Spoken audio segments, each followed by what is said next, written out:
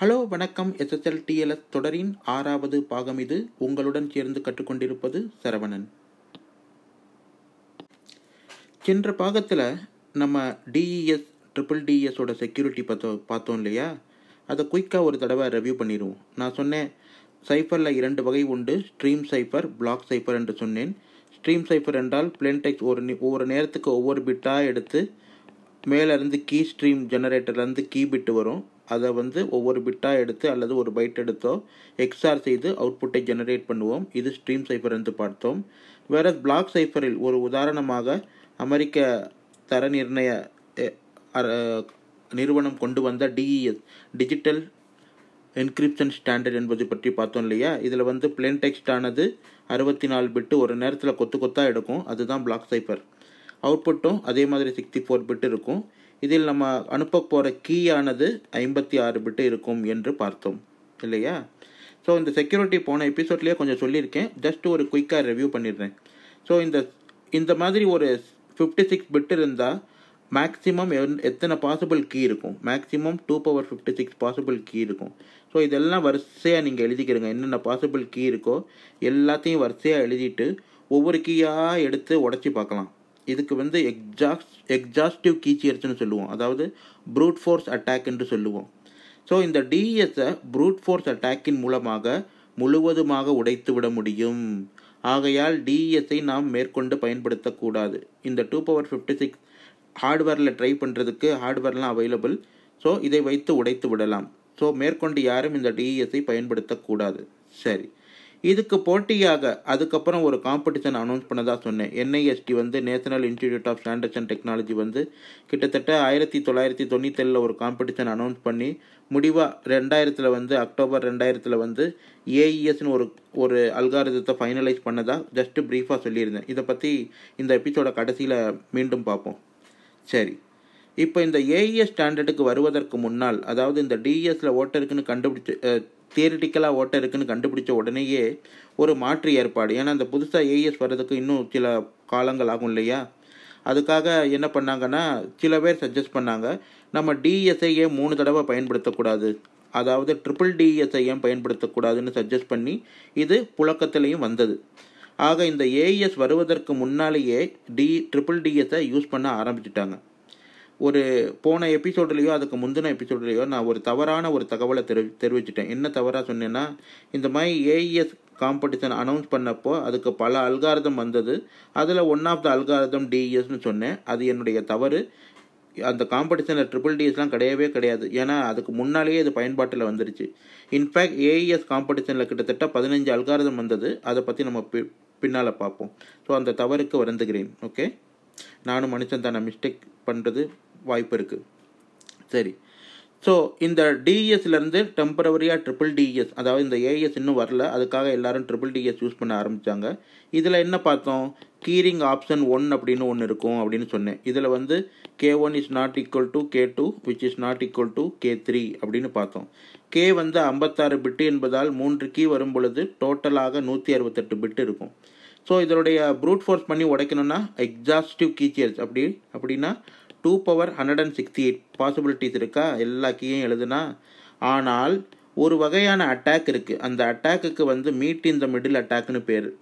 இந்த கிரிப்டோகிராஃபியில் ஏராளமான அட்டாக் வரும். ஸோ அத்தனை அட்டாக் பற்றியும் பார்க்க நமக்கு நேரம் இருக்காது. ஏன்னா இது ஒரு கிரிப்டோகிராஃபி கிளாஸாக மாறிடும். அதுக்கப்புறம் ஜஸ்ட் தெரிஞ்சு வச்சுக்கிறோங்க. மேன் இந்த மிடில்னு ஒன்று இருக்குது அது வேறு இது வேறு. மீட் இந்த மிடில் வேறு மேன் இந்த மிடில் வேறு. ஓகேயா ஸோ இந்த மீட் இந்த மிடிலை பயன்படுத்தி இதனுடைய செக்யூரிட்டியானதை டூ பவர் ஒன் டூவலாக குறைத்து விடலாம். மேற்கொண்டு இன்னொரு அட்டாக் அட்டாக்கும் நான் ஒரு ரிசர்ச் பேப்பர் படித்தேன் அதை பயன்படுத்தி இதை ஹண்ட்ரட் அண்ட் எயிட் பிட் செக்யூரிட்டியாக மாற்றி விடலாம். ஸோ என்னதான் நூற்றி அறுபத்தெட்டு யூஸ் பண்ணாலும் effective security hundred and eight bit தான். இதில் ஓகேயா சரி.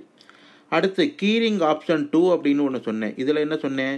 K one is not equal to K two whereas K three is equal to K ஒன்னு சொன்னேன். ஏதாவது கே த்ரீ என்பது கே ஒன் என்ன எடுத்தோமோ அதையே கே த்ரீக்கும் வச்சுக்கிருவோம். ஆக இதில் எத்தனை பிட்டு வரும்? கீ சைஸ் ஃபிஃப்டி சிக்ஸ் ரெண்டு கீ வெவ்வேறு கீ இருக்கிறனால fifty six into two hundred and twelve so இது எஃபெக்டிவ் செக்யூரிட்டி நீங்கள் நினைப்பீங்க two power hundred and twelve கொடுக்க வேண்டும் என்று நினைப்பீர்கள் இல்லையா? ஆனால் இந்த national institute of standards and technology நிஸ்ட்டுக்காரங்க அது யூஎஸ் யூஎஸோட பாடி இது. ஸோ இவங்க என்ன பண்ணாங்கன்னா இவங்களோட ரெக்கமெண்டேஷனில் என்ன சொல்லியிருக்காங்கன்னா இதற்கு சோசன் பிளேன் டெக்ஸ் அட்டாக்னு ஒரு வகை அட்டாக் இருக்குது இந்த chosen plain text attack chosen plain text plain text அட்டாக்னு ஒன்று இருக்குது அப்புறம் இன்னொரு அட்டாக் இருக்குது நோன் பிளேன் டெக்ஸ் அட்டாக் அப்படின்னு ஒன்று இருக்குது இதை பற்றி டீட்டெயிலெலாம் இப்போ பார்க்க முடியாது நேரம் இல்லை. ஜஸ்ட்டு இப்படி ஒன்று இருக்குன்னு மட்டும் தெரிஞ்சுக்கிட்டால் போதும். ஓகேயா சரி. இந்த அட்டாக்கை பயன்படுத்தி இதனுடைய செக்யூரிட்டியானதை ஜஸ்ட் எயிட்டி பிட் செக்யூரிட்டியாக மாற்றிவிடலாம் அதாவது டூ பவர் எயிட்டி ஸ்டெப்ஸே உடைச்சிடலாம் என்று கூறினார்கள். கடைசியாக ஒன்று பார்த்தோம். என்ன பார்த்தோம்? கீரிங் ஆப்ஷன் த்ரீ இந்த கீரிங் ஆப்ஷன் த்ரீயில் வந்து மூணுமே ஒன்றுன்னு சொன்னேன். K one is equal to K two is equal to K three இந்த மாதிரி பண்ணால் ட்ரிபிள் டிஎஸ் ஆனது பேக்வேர்ட் கம்பேட்டபிலிட்டி மோடுக்கு போய் டிஎஸ்ஸை மாறிடும். இல்லையா? இது பார்த்தோம். போன தடவை பார்த்துட்டோம். ஸோ ஆப்வியஸ்லி இதுக்கு போனால் இதோட செக்யூரிட்டி ப்ரூட் ஃபோர்ஸ் பண்ணி உடைச்சிடலான்னு சொன்னோம். ஸோ இந்த இந்த ஆப்ஷனை யாரும் பயன்படுத்தவே கூடாது. ஓகேயா இந்த ஆப்ஷனை பயன்படுத்தக்கூடாது. ஸோ நம்ம ட்ரிபிள் டிஎஸ்ன்னு சொன்னாலே பெரும்பாலும் அனைவரும் பயன்படுத்துவது இது மட்டும்தான். இந்த கீரிங் ஆப்ஷன் ஒன்று தான்.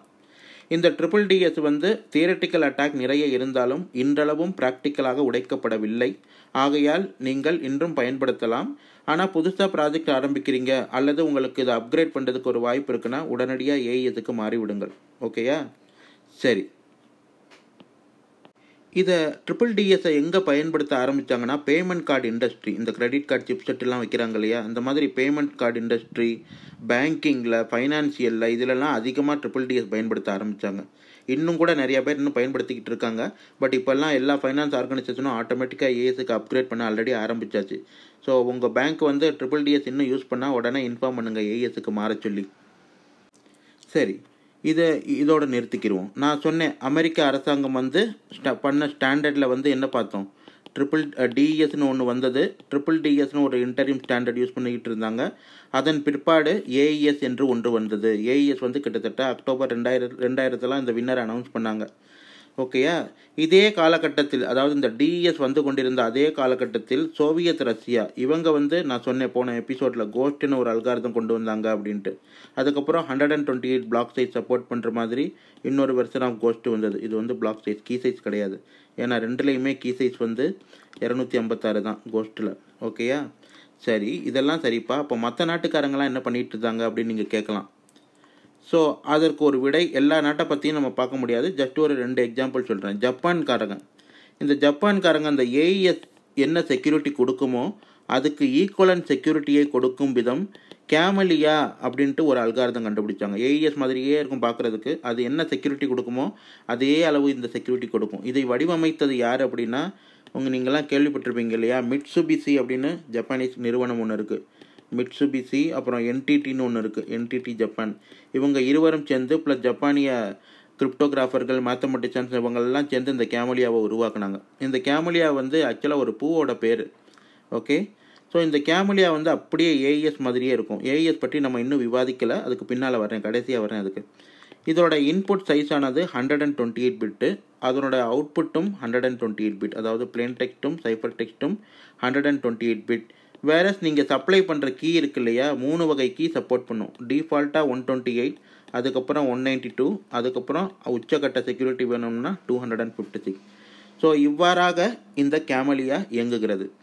இந்த ஜப்பான் அரசாங்கத்தில் அரசாங்கத்தோட டேட்டாவெல்லாம் நீங்கள் என்க்ரி பண்ணணும்னா இது ஒரு மேண்டேட்டரி ரெக்குயர்மெண்ட் இந்த Camellia support so Japan federal ஸ்டாண்டர்டில் இந்த சப்போர்ட் இருக்குது இதை பிற்பாடு எஸ்எஸ்எல் டிஎல்எஸ்லையும் இந்த கேமலியா சைஃபர் சப்போர்ட்டை ஆட் பண்ணாங்க. ஸோ இதை பற்றி நீங்கள் மேலும் தெரிந்து கொள்ள வேண்டுமென்றால் இதுக்குன்னு ஒரு ஆர்எஃப்சி இருக்குது அதாவது எஸ்எஸ்எல் டிஎல்எஸ்ஸில் இந்த கேமலியா சைஃபரை எவ்வாறு பயன்படுத்துவது அப்படின்னு. ஃபைவ் நைன் த்ரீ டூ இந்த ஆர்எஃப்சி இதில் போய் இந்த டீட்டெயிலை நீங்கள் பார்த்துக்கலாம். சரி அடுத்ததாக தென் கொரியா சவுத் கொரியா. இவங்களும் அவங்களோட கிரிப்டோகிராஃபரெல்லாம் ஒன்று கூட்டி கொரியன் கிரிப்டோகிராஃபர் எல்லாம் ஒன்று கூட்டி அரியா அப்படின்னு ஒரு அல்காரதம் கண்டுபிடிச்சாங்க. இதோட எக்ஸாக்ட் ப்ரொனவுன்சியேஷன் கொரியனை தான் கேட்கணும். நான் சும்மா இதை ஒரு இங்கிலீஷ் மாதிரி நினச்சிக்கிட்டு ப்ரொனவுன்ஸ் பண்ணுறேன் ஏஆர்ஐஏ அப்படின்னு இருக்கும் இந்த அல்காரதம் இந்த அல்காரதமும் ஏஇஎஸ் எந்த அளவுக்கு செக்யூரிட்டியை கொடுக்குமோ அதே அளவு செக்யூரிட்டியை கொடுக்கும். அதாவது இதனுடைய இன்புட்டும் பிளேன் டெக்ஸ்ட் ஆனது hundred and twenty eight bit output cipher text ஆனது hundred and twenty eight bit இதனோட கீ சைஸும் இது oh, ஓ சாரி இதனுடைய கீ சைஸும் எவ்வளோ? Hundred and twenty eight bit அல்லது ஒன் நைன்டி எயிட் பிட் அல்லது two hundred and fifty six bit AES போன்றே இது இயங்கக்கூடியது. அதே போன்ற செக்யூரிட்டியை வழங்க வல்லது. ஸோ சவுத் கொரியாவில் நீங்கள் ஏதாவது ஃபெடரல் ப்ராஜெக்ட் கவர்மெண்ட் ப்ராஜெக்ட் பண்ணீங்கன்னா இந்த அல்காரதம் மேண்டேட்டரி சப்போர்ட் பண்ணியே ஆகணும் நீங்கள் ஓகேயா சரி. இது வந்து அவங்க ஊரில் நான் சொன்னேன் இது வந்து ரெண்டாயிரத்தி மூணில் இதை இதை கொண்டு வந்தாங்க. அது ஸ்டாண்டர்ட் ஆகிறதுக்கு ரெண்டாயிரத்தி நாலில் கொரியாவில் ஒரு ஸ்டாண்டர்டைசேஷன் பாடி இருக்குது அதுக்கு கேட்ஸ்னு சொல்லுவோம். இந்த கேட்ஸ் அப்படின்னா Korean agency for technology and ஸ்டாண்டர்ட்னு பேர். இவங்க வந்து இதுக்கு ஒரு பேர் வச்சாங்க. கொரியன் ஸ்டாண்டர்ட் வந்து twelve thirteen colon two thousand four அப்படின்னு இருக்கும். அதில் தான் இந்த அரியா பற்றி டீட்டெயில்ஸ் எல்லாம் நீங்கள் பார்க்கலாம். உங்களுக்கு வேணும்னா.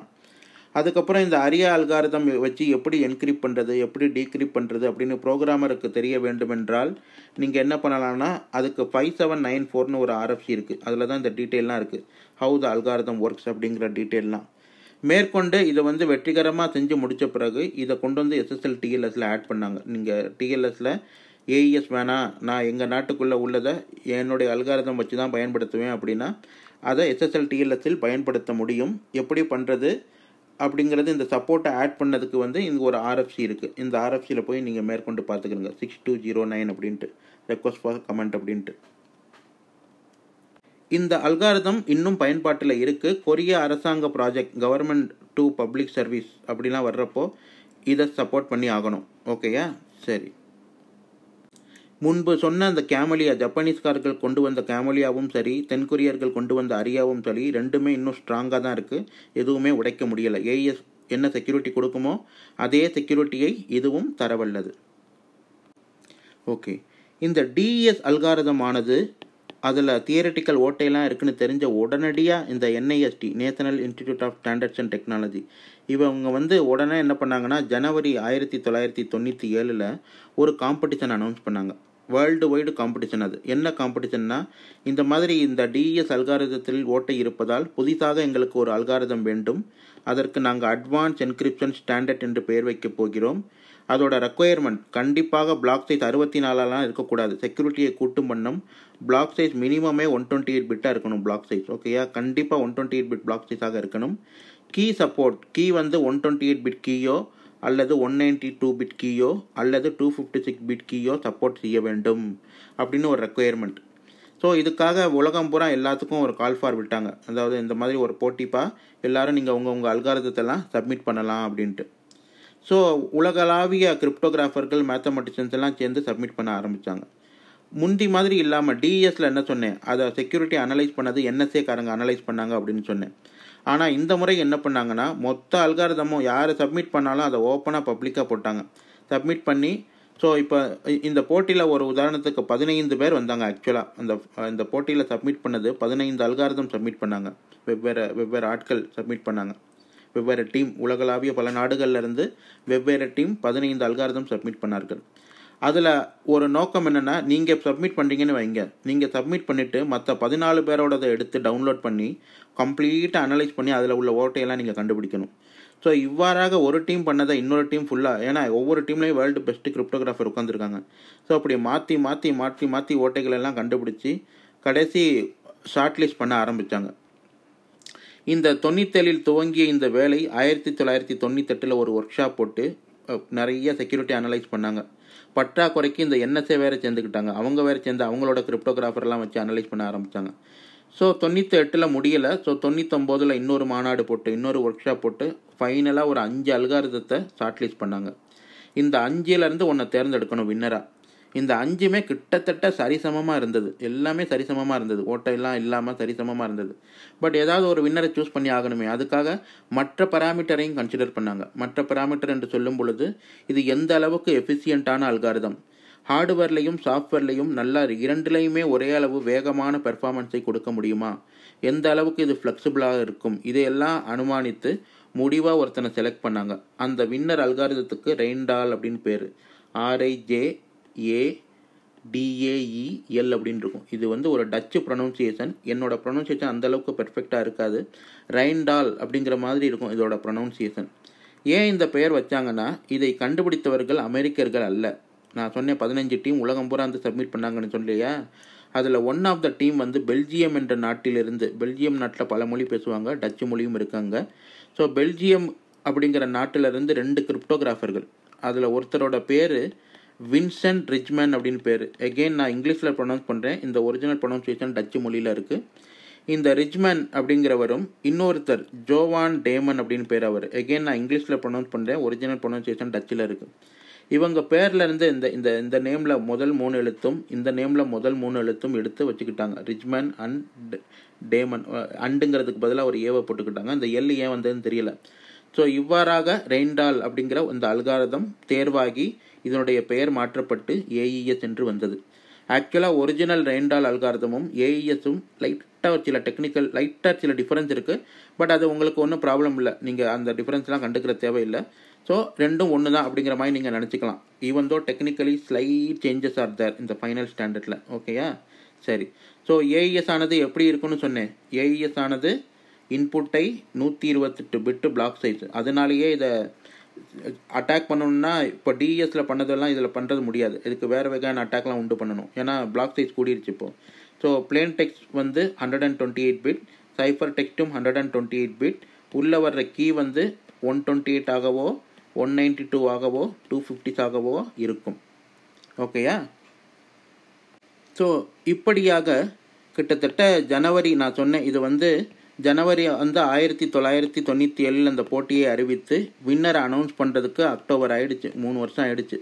அதுக்கப்புறம் வின்னரை அனௌன்ஸ் பண்ணிவிட்டு இதை ப்ராப்பராக ஸ்டாண்டர்டாக பப்ளிஷ் பண்ணாங்க. கிட்டத்தட்ட நவம்பர் ரெண்டாயிரத்தி ஒன்றில் இந்த அமெரிக்க அரசாங்கத்தோட ஃபெடரல் இன்ஃபர்மேஷன் ப்ராசஸிங் ஸ்டாண்டர்ட் அப்படின்ருக்கு அதோட பப்ளிகேஷன் ஒன் நைன்டி செவன்னு நீங்கள் யூஎஸ் ப்ராஜெக்ட் என்ன ப்ராஜெக்ட் எடுத்தாலும் இது வந்து மேண்டேட்டரி சப்போர்ட் இருக்கும். FIPS pub one nine seven அப்படின்னு போட்டிருக்கும். இது வந்து இது சப்போர்ட் பண்ணணும் அப்படின்ட்டு. ஸோ இந்த ஸ்டாண்டர்டாக கொண்டு வந்தாங்க. இதில் என்ன ஒரு பியூட்டினா என்ஐஎஸ்டி அறிவித்தாங்க ஈவன் அமெரிக்க ராணுவ ரகசியங்கள் கூட இந்த டேட்டாவை கிளாஸிஃபை பண்ணுறப்போ normal data secret data top சீக்ரெட்னு classify பண்ணுவாங்க. அதில் உச்சகட்ட பாதுகாப்பு வந்து டாப் சீக்ரெட்னு ஒரு கிளாஸிஃபிகேஷன் இருக்குது இதுதான் இருக்கல ஹையஸ்ட் சீக்ரெட் இந்த சீக்ரெட்டுக்கு இந்த ஏஇஎஸ்ஐ பயன்படுத்தலாம் அப்படின்னு பெர்மிஷன் கொடுத்தாங்க. அதுக்கு வந்து ஏஏஎஸ் டூ ஃபிஃப்டி சிக்ஸை பயன்படுத்தலாம் என்று. ஏன்னா யாராலையும் உடைக்க முடியாது. இன்றளவும் எந்த வகையான அட்டாக்கும் இல்லை இதை உடைக்கிறதுக்கு. ஓகேயா சரி. ஸோ இத்துடன் நம்ம கதையை இங்கே நிறுத்திக்கிறோம். இந்த பாகத்தை நிறுத்திக்கிறோம். ஸோ இன்றைக்கி என்னென்ன பார்த்தோம் நம்ம? இன்றைக்கி முதல்ல லெக்சரை ஸ்டார்ட் பண்ண பிறகு ஃபஸ்ட்டு என்ன பார்த்தோம் அப்படின்னா டிஇஎஸ் டிஇஎஸும் ட்ரிபிள் டிஎஸும் அதனுடைய செக்யூரிட்டி எப்படி இருக்கும் என்பதை பற்றி டிஸ்கஸ் பண்ணோம். அதன் பின்பு ஜப்பான்காரங்க கண்டுபிடிச்ச அந்த கேமலியா சைஃபர் ஏஇஎஸுக்கு ஈக்குவலண்ட்டான கேமலியா சைஃபர் பற்றி பார்த்தோம். தென் கொரியர்கள் கண்டுபிடிச்ச ஏஆர்ஐஏ அப்படிங்கிற சைஃபர் அதுவும் ஏஇஎஸுக்கு ஈக்குவலன் அதை பற்றி பார்த்தோம். முடிவாக அந்த அமெரிக்க என்ஐஎஸ்டி கொண்டு வந்த ஏஇஎஸ்ங்கிற அல்காரதம் இப்போ உலகம் பூரா இப்போ அதிகமான பயன்படுத்தி கொண்டிருக்க அல்காரதம் அப்படின்னா இந்த ஏஇஎஸ் தான். எல்லா இடத்துலையும் நீக்கமர நிறைந்திருக்கிறார் கடவுள் மாதிரி. ஸோ இதுதான் ஏஇஎஸ் இப்போ. ஸோ இதெல்லாம் இன்னைக்கு பார்த்தோம். மேற்கொண்டு நம்ம அடுத்த பாகத்தில் சந்திப்போம். இன்று என்னுடன் சேர்ந்து கற்றுக்கொண்டதற்கு நன்றி வணக்கம்.